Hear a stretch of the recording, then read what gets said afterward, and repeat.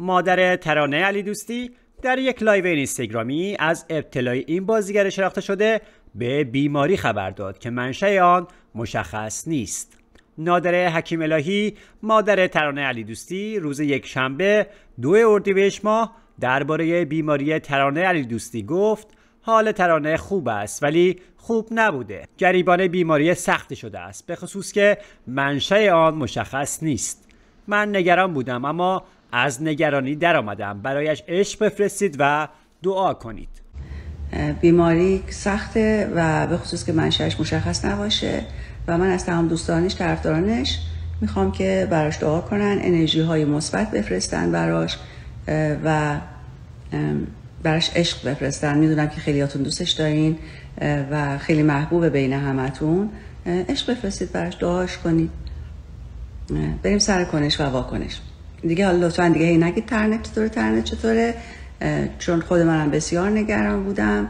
خدا رو شکر از نگرانی در اومدم و به همین دلیل چون حال خیلی از طرفدارانش و دوستانش رو می‌فهمم الان همونطور که من از نگرانی در اومدم شما هم انشالله که از نگرانی در میاد. دیگه سوال نکنید بریم سر اصل خودمون. همچنین صفحه اینستاگرام بانی فیلم نیست درباره این موضوع نوشت سه روز پیش ترانه علی دوستی با نشانه های سرگیجه و به دلیل مشکلات کبدی در بیمارستان کسرای تهران بستری شد.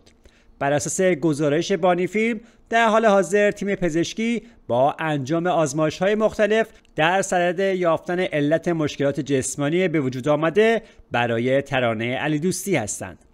ترانه علی دوستی از جمله بازیگران سینمای ایران است که در جریان اعتراضات سراسری سال 1401 با برداشتن هجاب اجباری و انتشار پست هایی در شبکه های اجتماعی به حمایت از معترضان خیزش زن زندگی آزادی پرداخت.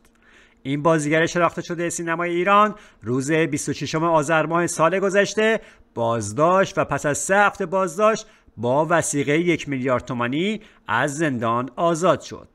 زهرا مینویی وکیل دادگستری روز یک شنبه 27 اسفند ماه در مصاحبه با خبرگزاری ایلنا به تشریح آخرین وضعیت پرونده ترانه علی دوستی پرداخت و با اشاره به پرونده ترانه علی دوستی به دلیل پست اینستاگرامی درباره آرمیتا گراوند گفت که برای این بازیگر شش ماه قرار نظارتی صادر شده که در این شش ماه هیچ پستی با محتوای سیاسی و تشویش از آن عمومی منتشر نکند. در اسناد حک شده از قوه قضاییه توسط گروه هکری عدالت علی نام ترانه علی دوستی در کنار شماری از چهرهای هنری به عنوان چهرهای خاص که باید مدیریت شوند توسط نهادهای اطلاعاتی گردآوری شده است.